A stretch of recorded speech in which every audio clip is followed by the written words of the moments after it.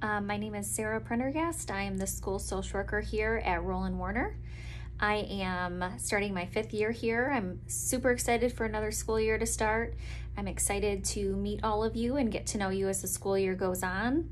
Um, I know it's a little bit of a different start to the school year, but we made it through the spring and I know we can make it through this first month as well. And hopefully we can see each other face to face soon. Um, I hope you've all had a wonderful summer. I hope you're ready for the school year to start and I will see you all soon.